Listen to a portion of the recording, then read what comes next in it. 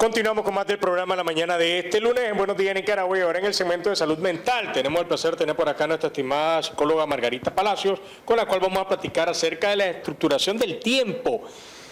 Es algo en el cual yo creo que la mayoría requerimos y deseamos de tips que nos permita el poder organizarnos y el poder tener obviamente una mejor guía para cada una de nuestras actividades, el priorizar y el saber cómo podemos estructurar bien ese tiempo. Yo le decía a Margarita que sea de 48 horas, lo mejor, pero no, no se puede. Mi estimada Margarita, buenos días, bienvenida. Un placer buenos días, siempre es un gusto estar aquí, ¿verdad? Y con este tema, porque el tiempo todo el mundo cree que le hace falta. Así es. Todo el mundo se está quejando, no te he visto porque no tengo tiempo, no hago ejercicio porque no tengo tiempo. Hasta dicen no visito a mis padres porque no tengo tiempo. Y, se pasa rápido. Margarita, disculpa que te interrumpa. Estamos de que, lo decíamos al inicio del programa, Hace dos semanas decíamos miércoles de ceniza este miércoles. Y ya vemos que es este miércoles, pero no depende de eso, depende de nosotros. Lo que pasa es que vivimos una vida demasiado ajetreada, creo, y una cotidianidad que se vuelve muy eh, repetitiva. Y entonces, obviamente, sentimos que pasa de manera rápida. ¿Cómo podemos cambiar esto? Porque como has dicho aspecto muy importante, no tengo tiempo de ejercicio, no tengo tiempo de visitar a mis padres, no tengo tiempo de descansar. Así nos sentimos, pero el tiempo sigue siendo el mismo. Exactamente. Pero es importante mencionar que el tiempo es una de las claves del éxito. la mayor parte del tiempo nosotros nos vivimos quejando que nos hace falta. ¿Y qué es lo que nos han dicho desde pequeño? Hay más tiempo que vida. Pero también nos han dicho hay tiempo para llorar, hay tiempo para enfermarse, hay tiempo para morir. El que lo estructura mal somos nosotros. ¿A qué le damos prioridad? A lo que nosotros consideramos importante. Y a veces la prioridad se la damos el 70% de nuestro tiempo al trabajo. Todos esos excesos, ¿quién cree vos que los paga? La familia. Así es. ¿Qué nos han enseñado? Que el que produce está exento de todo lo demás. Lo que no nos dicen realmente es que el impacto psicológico que tiene la desestructuración de nuestro tiempo. Inmediatamente, al percibir internamente que no tengo tiempo, mi nivel de estrés aumenta considerablemente. Hasta puedo llegar a un trastorno ansioso y depresión. aprovecho, y de manera personal lo digo, a mí me mandaron a descansar, a mí me mandaron a, tomarme seis meses, me acuerdo, hace un año, porque el nivel de estrés y de, y de trabajo constante.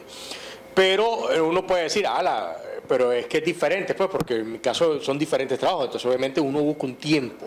Pero a mí me mandaron a descansar y uno, y uno le dice, ¿cómo voy a descansar si vos has dicho algo muy importante? Desde que nacemos nos enmarcan que el que produce es el que genera y es el que no le puedes decir nada.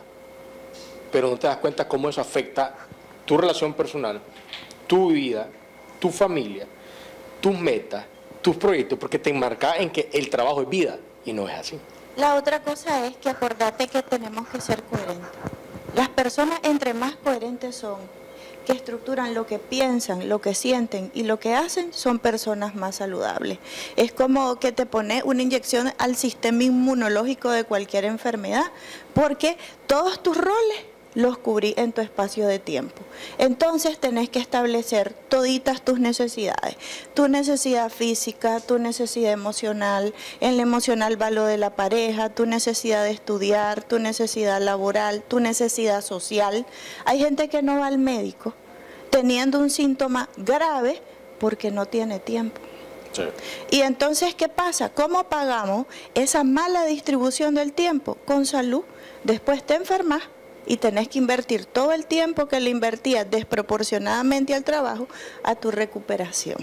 ¿Cómo cambiamos ese chip cuando venimos de tanto tiempo de estar en, ese, en esa monotonía laboral y mental, que ponemos en primer lugar el trabajo ante todo? Una de las cosas es tener metas y objetivos.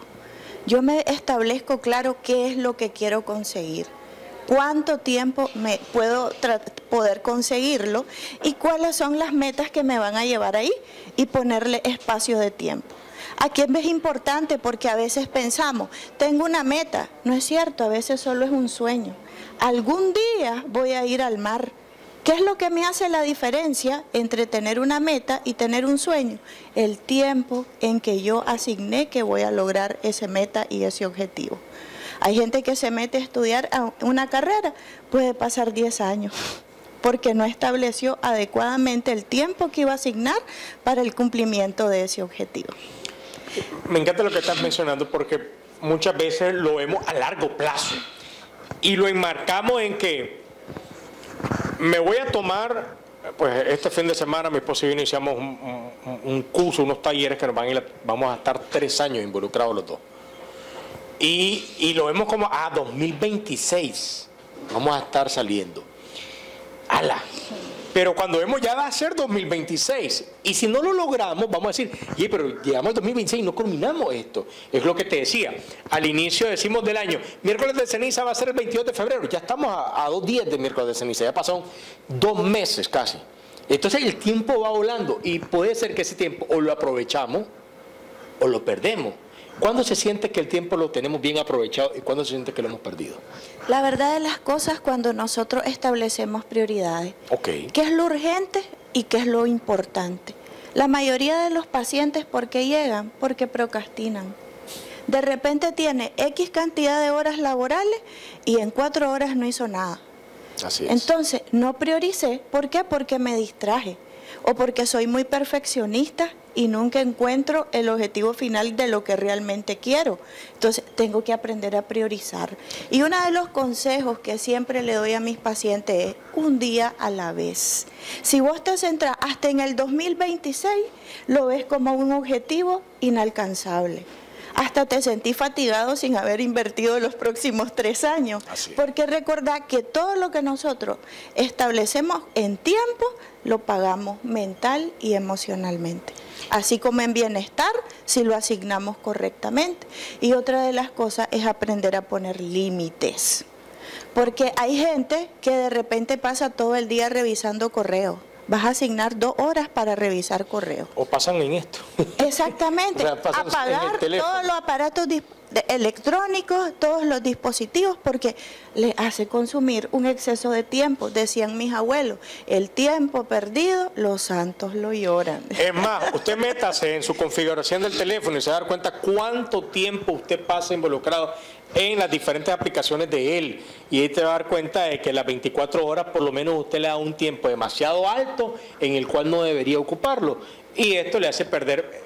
Se siente has dicho algo muy importante. Esto es cuando hay alguien que pasa con el tiempo comprometido. Ok, trabajo de 8 a tal hora, eh, luego tengo que ir a prepararme porque tengo que alistar el, desayuno de mañana o la merienda de mis hijos de mañana, ver las tareas de ellos. Eh, ya tenés como una estructuración, pero podés tener esa estructura o ese organigrama, pero sentís que el tiempo no te da porque no tenés, vos has dicho algo muy importante, no priorizás, no tenés la meta y no buscas cómo disfrutar de lo que haces. Ahora, pero también aquellas personas que dicen, tengo mucho tiempo, pero no sé emplear. Mucho ocio. La otra cosa que también, el, ahí más que ocio, es aburrimiento. Okay. Y el aburrimiento es la base para un montón también de patologías. Paso dormido, paso viendo televisión, paso en el teléfono. Me siento sin una meta, sin un propósito de vida, porque no estoy invirtiendo mi tiempo en algo que me va a generar bienestar a largo plazo. Ahí yo no lo estoy invirtiendo, lo estoy gastando.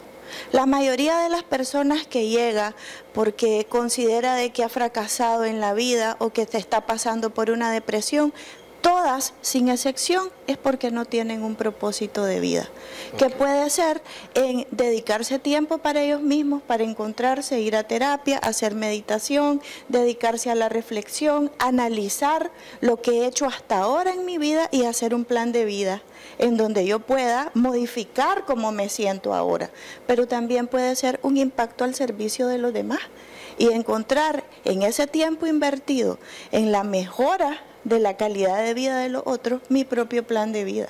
Mira qué bonito. Sí, eso es muy interesante porque en otras palabras estás diciendo que la persona tiene que valorar también la acción que ejerce con una actitud y una actitud en la cual te permite el poder crecer como ser humano creyendo de que está desperdiciando su tiempo porque no es para ellos, sino que está haciendo un servicio, si no se da cuenta que, pues, y, hay una palabra tan bella y tan preciosa, una frase que dice, el que nace para servir sirve para vivir. Entonces, en otras palabras, ahí es donde crece, donde mayor recibe. Ahora, pero esto le pasa a muchas personas. Y me voy, voy a dar en el hoyo ahorita. No trabajo. O sea, me siento ahorita y comienzan a sacar. Soy ama de casa. Si mis hijos se van a clase, tengo toda esa hora libre y no sé qué hacer. Llame como a las 11 y ya comienzo a hacer el almuerzo. Llegan de clase, comen y ya las tareas, como están adolescentes, ya hacen las tareas tranquilos porque ya les enseñé. Y estoy, o sea, paso todo el tiempo y ya siento que eso es lunes, martes, miércoles, jueves, es demasiado monótono. Llega el fin de semana y hacemos lo mismo. ¿Cómo también se alivia a esas personas cuando sienten que ya tienen una monotonía de vida y hogar? Por eso te digo, hay que establecer, otra de las características es tener una agenda y un calendario. Es bueno entonces calendarizar y hacer agenda. En la agenda yo voy a establecer qué es lo importante durante el día y cómo voy a distribuir, distribuir según todos mis roles mi tiempo durante esa semana y no solo planifico mi semana, cuando vea ya tengo estructurado todo mi mes. Porque vos dijiste la palabra ocio y esparcimiento. El ocio y esparcimiento es totalmente necesario como lo es el tiempo que le dedico al trabajo. Porque si yo le dedico muchas horas a mi trabajo, caigo en el burnout, en el agotamiento, en el cansancio físico, que invierto más cantidad de horas y obtengo un rendimiento mucho más bajo de lo esperado. En cambio, si yo lo equiparo con entretenimiento y ocio, en menos cantidad de tiempo yo, yo tengo un rendimiento con una mayor calidad de ejecución. Hay factores externos que influyen en cómo puedes hacer estos cambios en tu vida. Te lo pregunto por algo. Mucha gente puede decir, ah, pero ¿y lo económico? Ah, pero es que no tengo, no tengo condiciones para poder distraerme. Y comienzan a creer que la distracción se basa en lo económico, en tener un vehículo para movilizarte a cierto punto, y no, y no lo ven con el enfoque de buscar tiempo para ellos. Pero también esto tiene que ver con los permisos internos. Hay algo más subyacente que lo que vemos a simple vista, los mandatos familiares. A veces hemos interiorizado palabras negativas desde que somos pequeños que nos limitan la capacidad de actuar cuando somos adultos, porque en realidad querer es poder. Para todo lo que realmente tenés interés, siempre hay tiempo. Por ejemplo, una de las cosas, si yo me doy permiso que de ahora en adelante voy a tener hábitos saludables, no necesito tener gran cantidad de tiempo para invertir parte de mi tiempo en la obtención de estos hábitos. No puedo pagar el gimnasio, pero puedo salir a caminar. Y empiezo a compartir con alguna amistad durante mi ejercicio y ahí mato dos pájaros de un tiro. ¿Cómo así? Me entreno, estoy invirtiendo en mi salud física, pero también estoy invirtiendo tiempo en mi área social, porque hay un intercambio de caricias eh, de afectividad, de palabras positivas cuando voy haciendo ejercicio con alguien que estimo. Mira qué bonito, es cómo invierto mi tiempo. Entonces, eventualmente son los permisos que yo me doy. Puedo ir al mejor restaurante del mundo porque necesito ir a distraerme, pero también la puedo pasar bien en una comidería. Lo importante son las personas que me rodean y la disposición que yo tengo para permitirme ese ocio y esparcimiento. Ok. Margarita, ¿cómo te pueden contactar nuestros amigos televidentes si requieren obviamente esta guía, esta asesoría, estas terapias que les permitan el reflexionar y el hacer cuenta de la importancia de cuidarse. Claro que sí, aparezco en las redes como psicóloga Margarita Palacio y pueden hacer cita al 8377-9485 que va a ser un enorme gusto servirles. Y para nosotros siempre es un enorme gusto tenerte por acá. Muchas gracias por tu tiempo y el traer también estos excelentes consejos y tips a todos nuestros amigos televidentes para que lo empiecen a aplicar, por favor. Lo apliquemos y esto nos permite poder tener una mejor calidad de vida y disfrutar de nuestra vida. Nos vamos a una pausa y venimos con más.